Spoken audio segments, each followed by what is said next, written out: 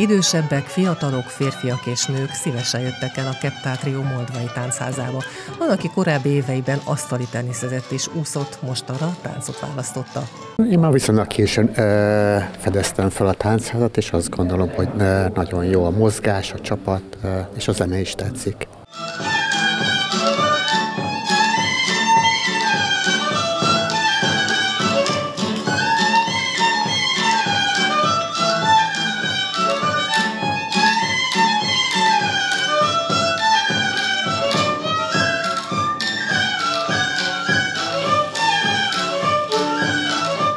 Nem az első, nem az utolsó, és imádom, ilyenen nem voltam még Moldvain. Illetve de egyszer saját magam szülinapját szerveztem, és pont moldvai tánctanító oktatót kértem, és az egész családom, voltunk 40-en, táncoltuk moldvait.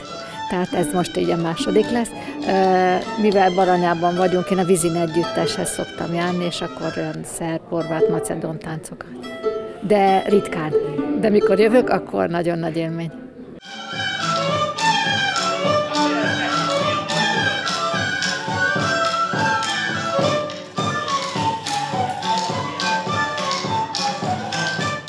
Végül ismerkedjünk meg a zenekarral, a Keptár trióval.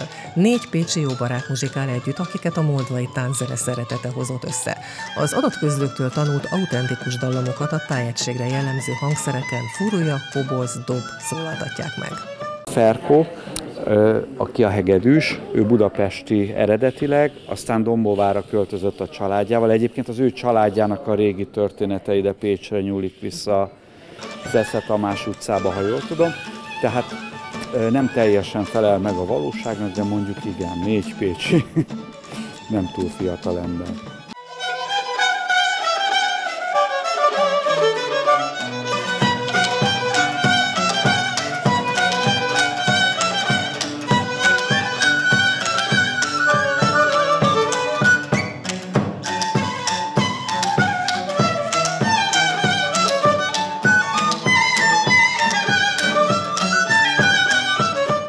2017-ben összeálltak, alkalmilag zenélgettek, de nem gondolták, hogy ez komolyabb lesz, mint például táncházakat tartani. Az elmúlt három évben vált minden komolyabbá. A nevük eredete, hogy Keptár a következő jelentéssel rendelkezik. Kevésbé ismert szó, hát az tulajdonképpen egy moldvai viselet, egy mellénynek a neve. Tehát amikor a zenekar nevének a választására került a sor, akkor a Máté hozta azt az ötletet, ő most nincs egyébként, aki a furujás és a kavalos, meg kobzán is tud játszani, meg tárogató, meg klarinéta. Tehát az ő ötlete volt az, hogy, hogy valami erősen a moldvai folklorhoz kötődő név fejezze ki a zenekarnak a, a működését is, és ez benne legyen a névbe, és ő hozta a Keptár nevet.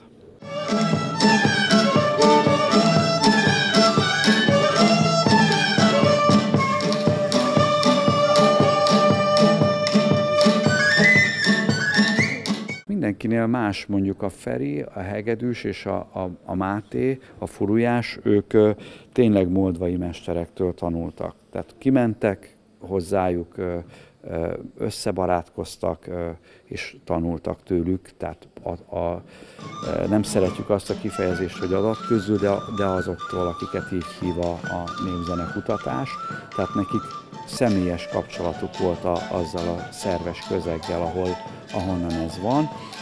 Különböző indítatásból jöttünk a moldvai zenébe, nekem a pengetős hangszereknél volt korábbi zenei tevékenységben előzményem, a magyar népzene egésze érdekelt, annak ellenére, hogy a moldvaiban azért van román hatás, stb. az is a magyar népzenének egy önálló dialektusa táncnak, önálló dialektusa, és én pengetős hangszerekbe tudtam gondolkodni. A Márk, aki a dobon játszik, ő alapvetően néptáncos. Ő a teljes magyar néptáncos műveltséget, népzenei műveltséget hordozza, és valahogy így alakultunk.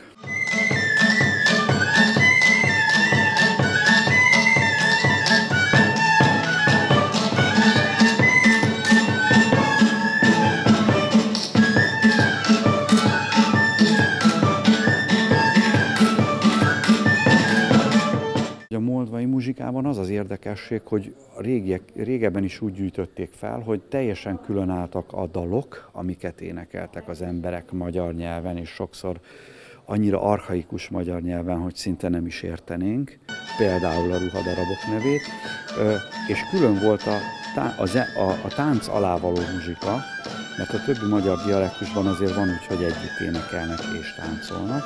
A moldvaiban ez egy kicsi elválik, viszont az egész táncház mozgalomban ez egy szerves egységet alkot, hogy a zene, az ének és a tánc, azok nem és a viselet, azok ugyanazt a világképet fejezik ki, és ez egy szerves kultúra volt, ami minden megnyilvánulásában, akár a képzőművészeti megnyilvánulásában, akár a zeneiben, ugyanazt a világképet mutatja meg. Tehát a régiségben azok az emberek, akik falvakban éltek, azok ugyanazt hímezték, amit táncoltak, és amiről énekeltek.